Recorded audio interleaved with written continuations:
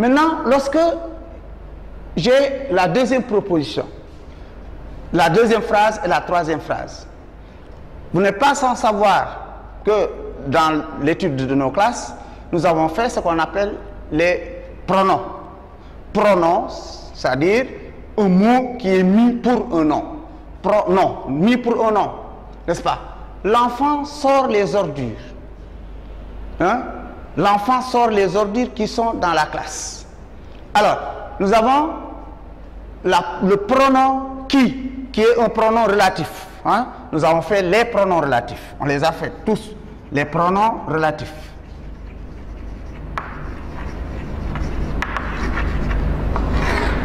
Parmi les pronoms relatifs, nous avons des pronoms relatifs invariables qui, que, quoi, dont, où, avec l'accent, qui est différente de la conjonction de coordination ou qui peut être remplacée par ou bien qui n'a pas d'accent. Donc la conjonction de coordination, les, les pronoms relatifs qui, que, quoi, dont, où sont des pronoms relatifs invariables. Hein? Et on les retrouve dans les phrases. Je vais vous dire après pourquoi on les appelle pronoms relatifs. Ensuite, nous avons les pronoms relatifs variables.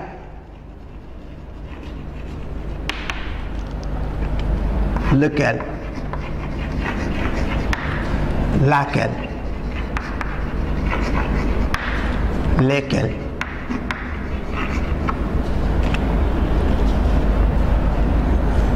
Lequel? Il n'y a pas de, de hein? c'est lequel, oui lesquels, lesquels. Voilà. Hein? Hmm? Quel?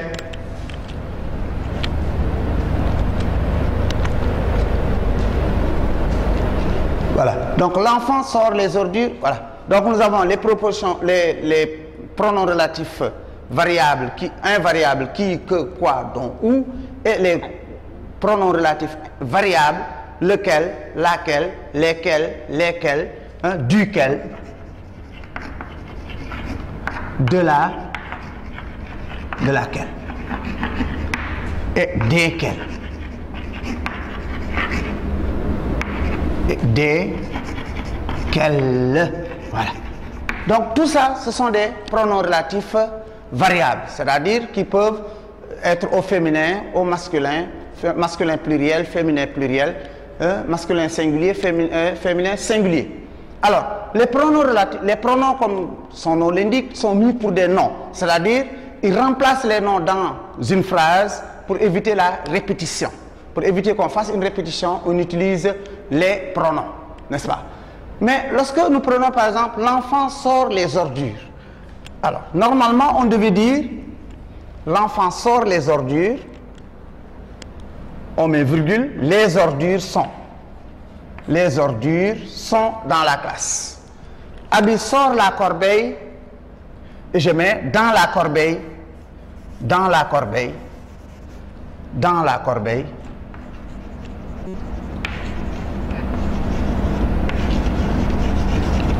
Dans la corbeille se trouve NT. Dans la corbeille se trouve les ordures. Alors, l'enfant sort les ordures, les ordures sont dans la classe. Abi sort la corbeille, dans la corbeille se trouvent les ordures. Donc nous avons une répétition de ordures et nous avons une répétition de, de corbeille. Pour éviter la répétition, on remplace ordures, les ordures et la corbeille par un pronom. Et le pronom avec lequel je les remplace ici, c'est un pronom relatif.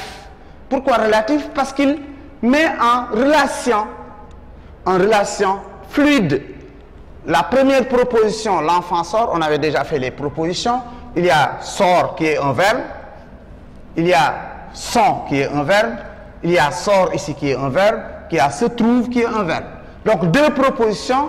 Alors ces deux propositions pour rendre la, la phrase fluide et pour ne pas faire la répétition des deux, des deux noms, on remplace le deuxième nom par un pronom.